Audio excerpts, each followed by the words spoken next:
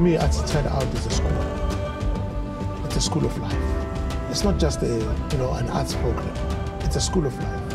It's a school that helps you to find yourself, to realize yourself, to get potential in yourself, to grow yourself, uh, to be proud of yourself. I think that is it's, it's a it's a big gift, regardless of whatever is happening here, the programs, you know, children performing, whatever. That's secondary.